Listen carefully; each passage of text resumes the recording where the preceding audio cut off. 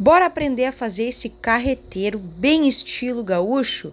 Então vem comigo, mas antes não esquece de se inscrever no canal, ativar o sininho das notificações e deixar o like que isso ajuda bastante o crescimento do canal.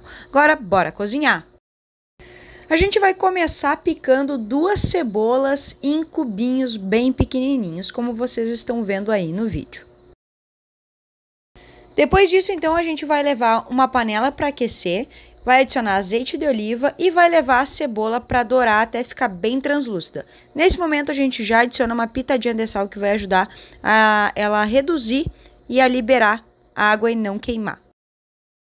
Enquanto a cebola está dourando ali em fogo médio abaixo, tá? A gente vai picando o pimentão. Eu vou usar um pimentão de cada cor, um amarelo, um vermelho e um verde, e vou picar todos eles em cubinhos, é, o mais pequeno que eu conseguir. Lembrando que quando a gente estiver picando pimentão, é importante a gente tirar essas partezinhas mais brancas onde tem a semente, porque é essa parte que pode amargar a receita e ela ser mais indigesta, tá? Então, tirando isso aí, tu vai garantir só o sabor do pimentão. Picou tudo, joga para a panela junto com a cebola, mistura tudo, adiciona mais uma pitadinha de sal porque a gente vai temperando aos poucos e no final é só provar. Eu também tô adicionando aí uma cenourinha raladinha, tá? Que eu tinha na minha geladeira, é totalmente opcional. E tô adicionando aí uma cebolinha que eu também tinha na minha geladeira, acho que dá um sabor bem gostoso para nossa receita. Jogou todos esses vegetais para a panela, mexe bem, mistura, tempera com mais uma pitadinha de sal e é, agora a gente já está pronto para adicionar então o arroz. Eu vou fazer para o nosso carreteiro é, arroz branco tipo 1, aquele mais comum e tradicional. Pode usar o arroz da tua preferência aqui, tá bom?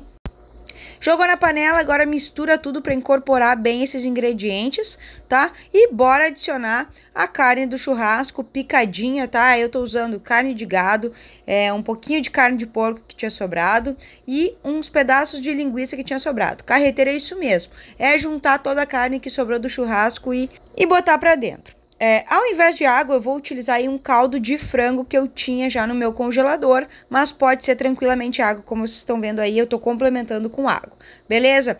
A gente coloca então seis é, xícaras de água ou caldo, tá? Que seriam o dobro da quantidade de arroz, beleza? A gente vai misturar bem tudo isso aí e deixar cozinhando por 12 a 15 minutinhos, tá? De, com a panela tampada, preferencialmente, para cozinhar ah, no próprio vapor. O vapor ajuda a cozinhar mais rápido. Aí é só provar e para finalizar eu vou adicionar aí bastante temperinho verde. É, eu tinha aí um maço completinho de temperinho verde que eu piquei e vou adicionar no nosso carreteiro. Vou misturar bem. Para mim carreteiro tem que ter salsinha. Já comenta aqui se o teu carreteiro vai ter salsinha ou não vai ter salsinha, beleza? Mas aqui é tradição colocar salsinha.